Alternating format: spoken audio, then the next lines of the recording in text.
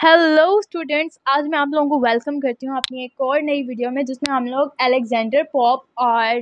Rape of lock के important MCQs को discuss करेंगे। तो टाइम वेस्ट किए बगैर शुरू करते हैं, ठीक है? फ़र्स्ट एमसीक्यूज़ हमारे पास है।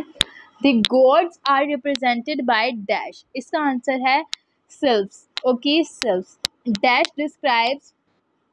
Achilles healed by an accusers on one of Belinda's petticoats इसका आंसर है A Alexander Pope Pope also uses the dash of invocations lamentations exclamations and similes इसका आंसर है बी एपिक स्टाइल ओके उनका epic style था. उसके बाद next rape of lock में. फिर उसके बाद नेक्स्ट हमारे पास है Pope starts his poem by invoking the dash इसका आंसर है C muse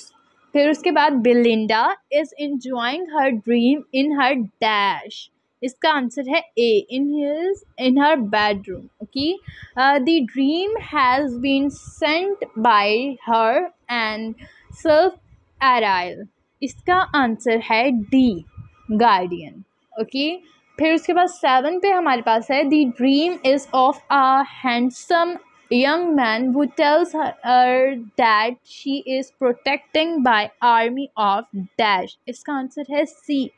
super natural forces उनकी आर्मी ओके नेक्स्ट हमारे पास है Ariel explains that they are the invisible and dash of women's dash of women's chastity I guess so मुझे इसकी pronunciation नहीं आ रही। ओके okay, इसका आंसर है बी गार्डियंस नंबर नाइन पर हमारे पास है the super are dash to any women that rejects mankind इसका आंसर है A devoted they dash and reward the vanities of an elegant and free frivolous lady like Belinda इसका answer है B understand they understand and reward okay last पर हमारे पास जो M C Qs है then Belinda awakes to the licking tongue of her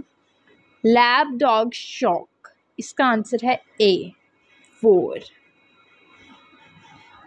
thank you so much for watching this video M C Qs इतने ही हैं eleven तक. अगर आपने और एम सी क्यूज़ देखने हैं तो मैं इसके दो पार्ट बना चुकी हूँ। और मेरे पास इनके अलावा और कोई एम सी क्यूज़ नहीं है तो होप सो आप लोगों को ये सारे इंपॉर्टेंट एम सी क्यूज़ याद हो गए होंगे। अगर नहीं हुए तो वीडियो को दोबारा ज़रूर देखें, ताकि आपको ये याद हो जाए, क्योंकि सुनने से बहुत जल्दी याद होते हैं एज़ कंपेयर टू देख देख के पढ़ने से।